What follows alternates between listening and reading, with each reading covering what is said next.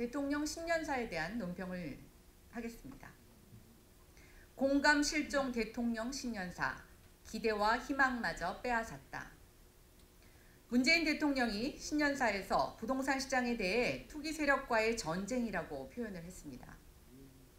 부동산 역시 적폐청산 대상의 하나로 치부하고 싸워서 이겨야 하는 이념의 대상으로 여기는 문 대통령의 부동산 정치 인식이 너무나 안타깝고 우려스럽습니다. 문 대통령에게 집 가진 사람은 부동산 시장의 투기꾼이고 내 집 마련의 꿈을 꾸는 무주택자는 잠재적 투기꾼일 뿐입니까? 언제까지 부동산 시장을 투기 대상으로 단적 짓고 규제 일본도의 정책만을 펼칠 것입니까? 18번의 고강도 대책이 나올 때마다 폭등하는 서울 집값을 보지 못했습니까? 18번의 실패에서 얻은 교훈이 없는 것입니까? 무능력, 무능력한 것이 아니라 무지한 것입니다.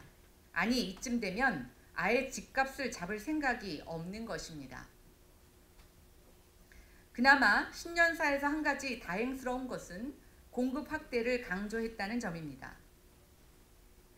지금까지 투기 수요 탓하더니 공급 부족을 인정한 것은 그나마 다행입니다. 그러나 수요가 있는 곳에 공급을 확대해야지 지금처럼 짓기 편한 경기도에 일방적으로 강행하고 닥치고 공급하라는 것은 심각한 부작용만 양산할 것입니다.